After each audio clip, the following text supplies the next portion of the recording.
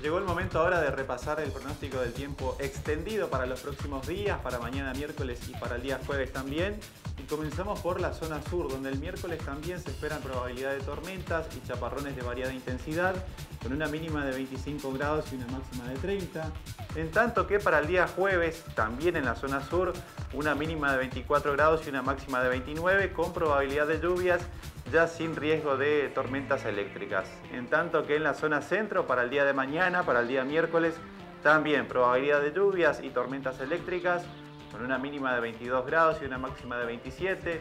En tanto que el día jueves, al igual que en la zona sur, sigue la probabilidad de lluvias, ya sin riesgo de tormenta eléctrica, con una mínima de 21 grados y una máxima de 25.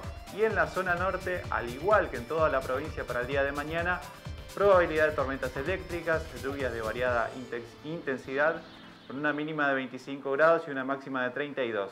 En tanto que el día jueves también se repite el mal tiempo, con mínima de 24 grados y máxima de 27 para la zona norte de nuestra provincia.